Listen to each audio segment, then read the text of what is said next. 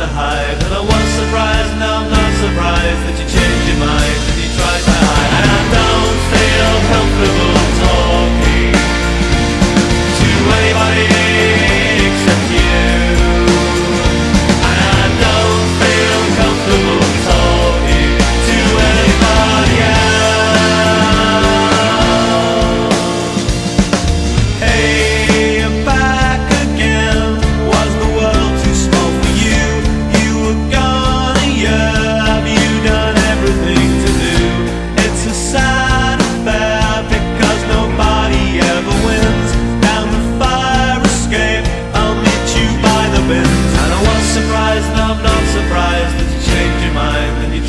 tried to hide.